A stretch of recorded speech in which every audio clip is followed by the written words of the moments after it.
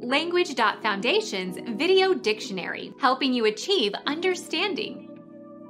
Cause to burst with a violent release of energy. Blow up, explode, set off.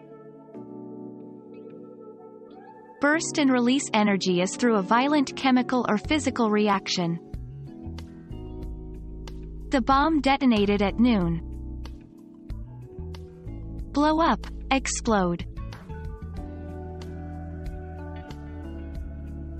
Become our student and get access to effective and free educational materials. Subscribe to our channel to become a part of our growing community and to learn English effectively.